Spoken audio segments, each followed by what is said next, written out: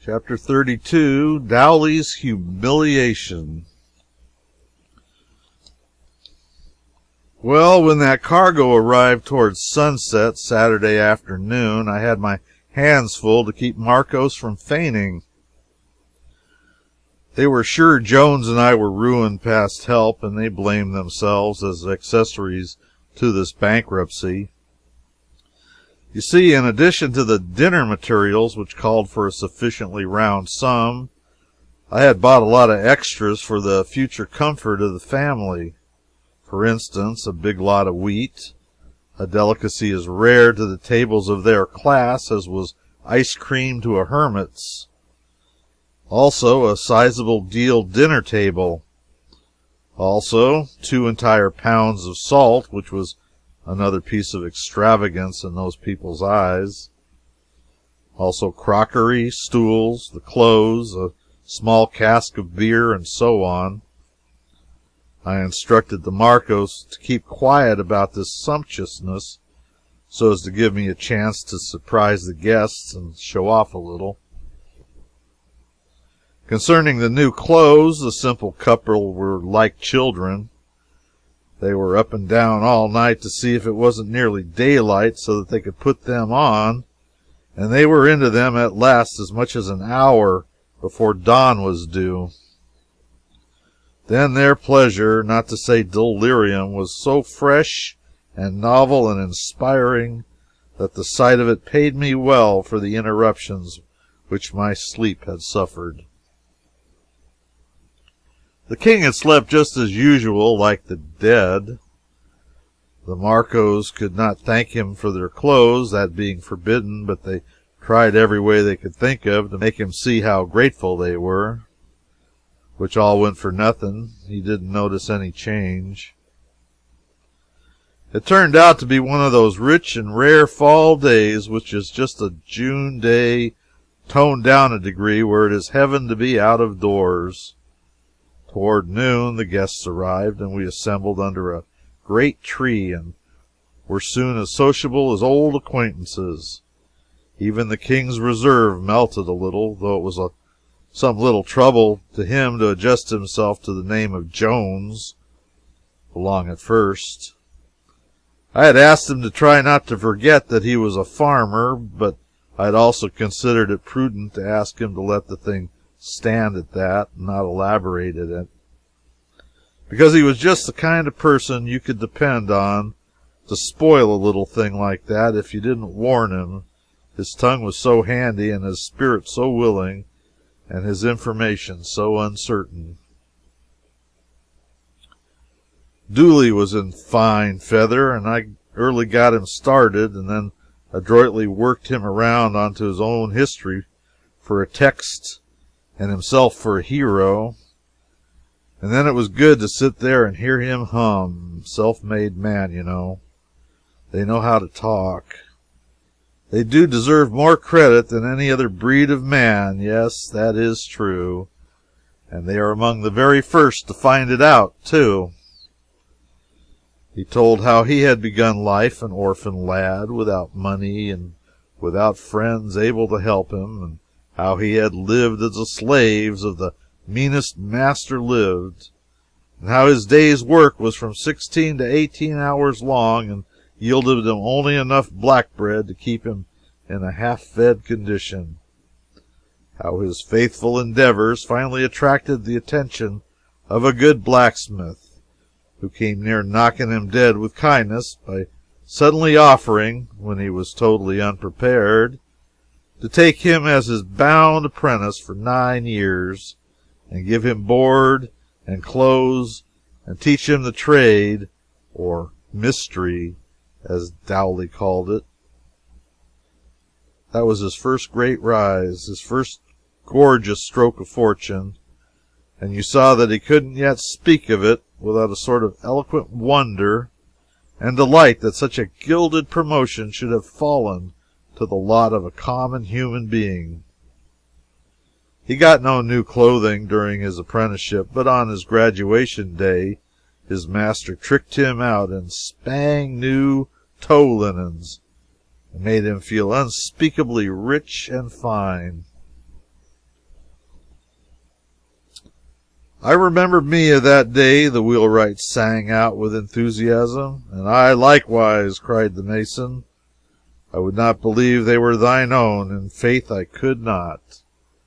Nor others, shouted Dowley, with sparkling eyes. I was like to lose my character. The neighbors wending I had mayhap been stealing. It was a great day, a great day. One forgetteth not days like that. Yes, and his master was a fine man and prosperous, and always had a great feast of meat twice in the year, and with it white bread true wheaten bread, in fact lived like a lord, so to speak. And in time duly succeeded in the business and married the daughter. And now consider what has come to pass, said he, impressively. Two times in every month there is fresh meat upon my table. He made a pause here to let the fact sink home, then added, and eight times salt meat. It is even true, said the wheelwright, with bated breath.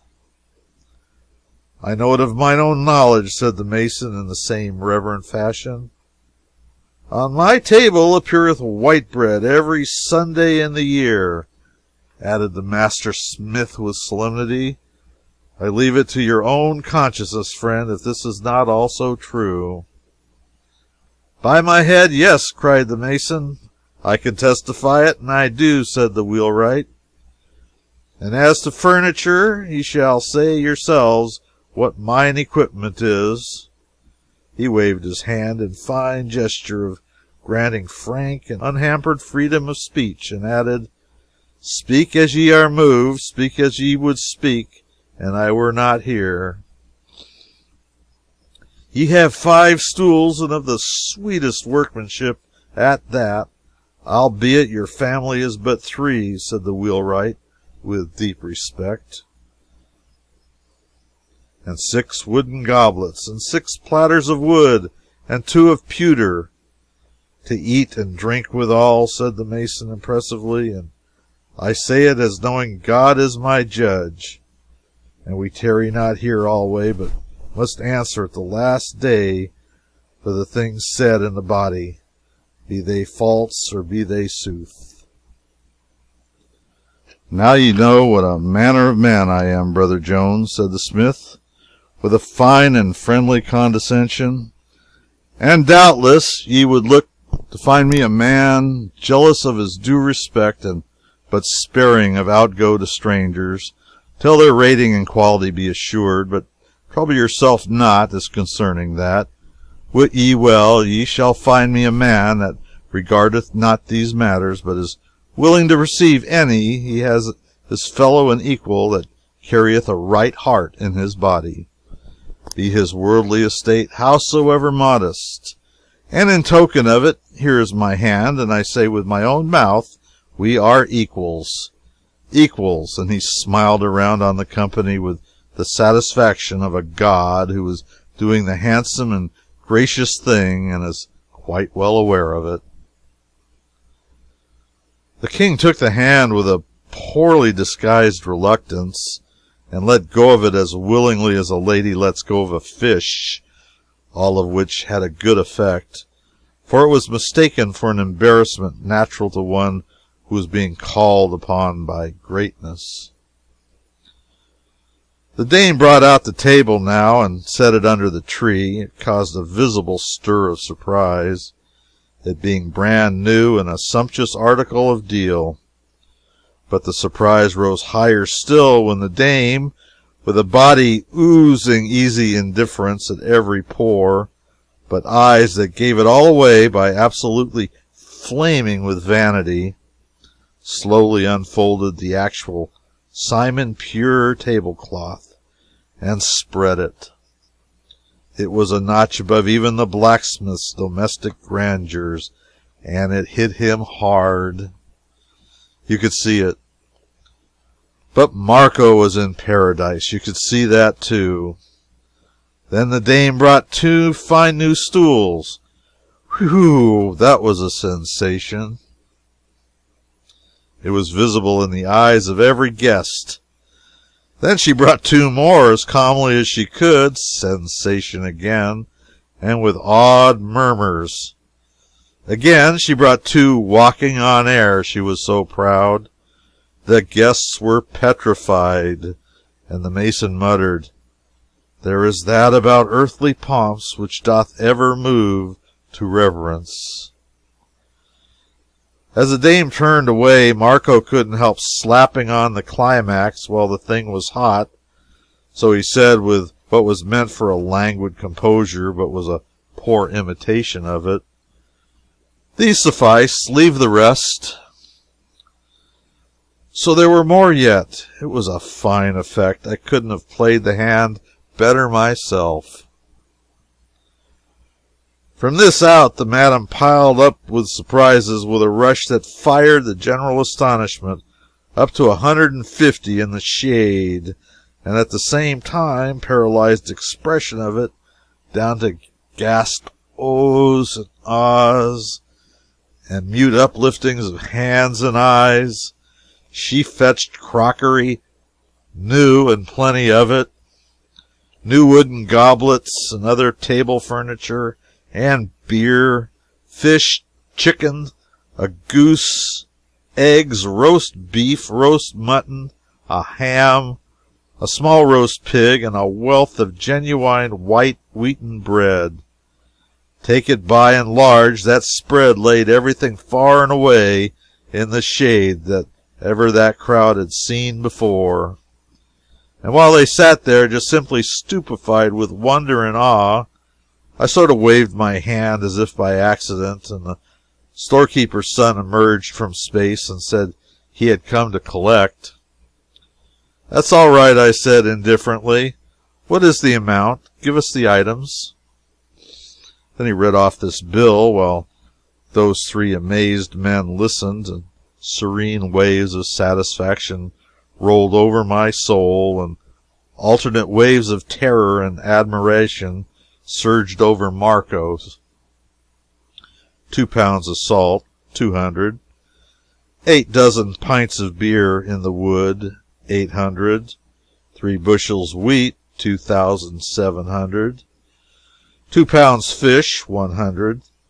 Three hens, four hundred. One goose, four hundred. Three dozen eggs, one hundred and fifty one roast of beef, 450, one roast of mutton, 400, one ham, 800, one sucking pig, 500, two crockery dinner sets, 6,000, two men's suits and underwear, 2,800, one stuff and one linsey woolsey gown and underwear, 1,600, eight wooden goblets, 800, Various table furniture, ten thousand.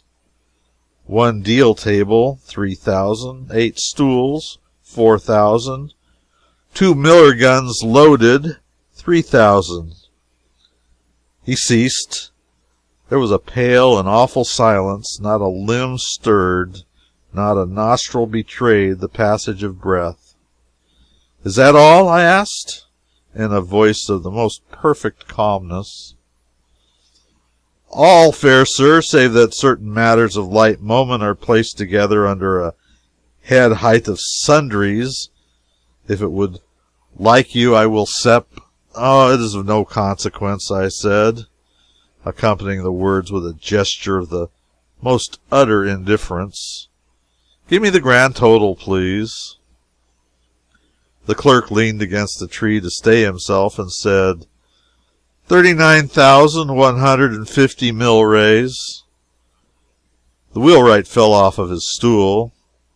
The others grabbed the table to save themselves, and there was a deep and general ejaculation of God be with us in the day of disaster.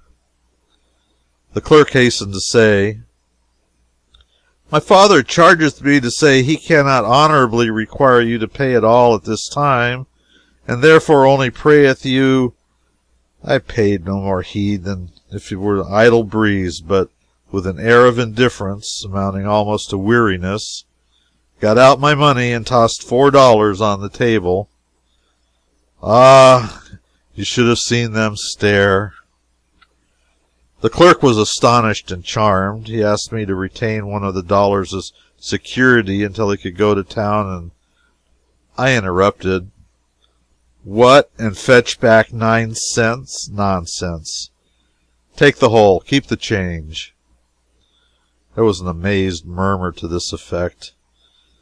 Verily, this being is made of money, he throweth away even if, if it were dirt. The blacksmith was a crushed man. The clerk took his money and reeled away drunk with fortune. I said to Marco and his wife, Good folk, here's a little trifle for you handing the Miller guns as if they were a matter of no consequence, though each of them contained fifteen cents in solid cash. And while the poor creatures went to pieces with astonishment and gratitude, I turned to the others and said as calmly as one would ask the time of day, Well, if we are all ready, I judge the dinner is. Come, fall to. Oh, well, it was immense. Yes, it was a daisy. I don't know that I ever put a situation together better or got happier spectacular effects out of the materials available. The blacksmith, well, he was simply mashed. Land, I wouldn't have felt what that man was feeling for anything in the world. Here he had been blowing and bragging about his great meat feast twice a year, and his fresh meat twice a month, and his salt meat twice a week, and his white bread every Sunday the year round, all for a family of three. The entire cost for the year was not above 69.2.6, which is 69 cents, two mills and six mill milrays. And all of a sudden, here comes along a man who slashes out nearly four dollars on a single blowout and not only that, but acts as if he'd made him tired to handle such small sums. Yes, Dowley was a good deal wilted and shrunk up and collapsed. He had the aspect of a bladder balloon that's been stepped on by a cow.